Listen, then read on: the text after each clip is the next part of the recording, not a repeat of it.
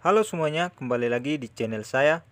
Baik teman-teman, kali ini saya akan membagikan cara setting parabola dan LNB agar receiver Vision kita mendapatkan sinyal yang lebih maksimal ya.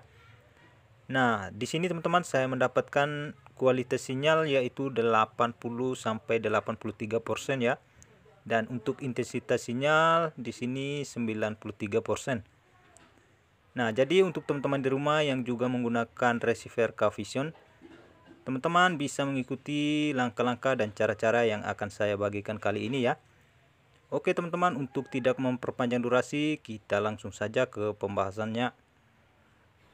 Jadi teman-teman, sebelum kita masuk ke settingan LNB atau parabola kita, di sini kita harus melakukan penyetingan dulu pada satelit yang akan kita cari ya. Misalnya di sini kita mau mencari satelit Telkom 4 ya. Untuk frekuensi LNB-nya kita pilih 5150. Di sek 10 kita pilih port 1, di sek 11 kita pilih disable. 22K on, power LNB kita kasih on, untuk polaritas kita kasih auto ya atau otomatis. Nah, setelah semuanya kita setting teman-teman, sekarang saatnya kita langsung ke parabola dan LNB-nya. Oke, kita langsung saja teman-teman. Jadi teman-teman di sini saya hanya menggunakan satu LNB saja ya. Jadi untuk sekarang kita bisa cukup gunakan satu LNB saja ya karena kita hanya menggunakan satelit Telkom 4. Nah, jadi teman-teman untuk posisi nolnya ini harus lurus ke arah timur atau ke arah barat ya sesuai dengan posisi LNB yang kita pasang. Nah, jadi teman-teman, teman-teman bisa lihat di sini ya untuk posisi LNB-nya yang benar.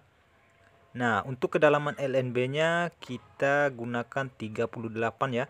Karena di sini saya menggunakan di solid 6 feet. Jadi untuk kedalaman LNB-nya di sini saya pasang 38 ya. Nah, apabila teman-teman menggunakan disk yang lebih besar, maka teman-teman bisa menggunakan kedalaman LNB di sekitar 40 sampai 42 ya teman-teman. Nah, setelah LNB-nya kita setting dengan benar seperti ini teman-teman.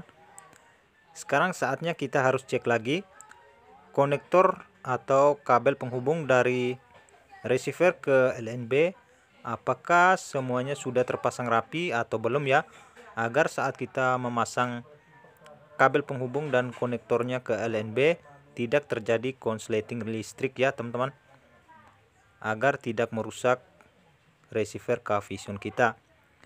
Jadi mungkin hanya itu saja yang bisa saya bagikan kali ini. Semoga videonya bermanfaat. Sekian dan terima kasih.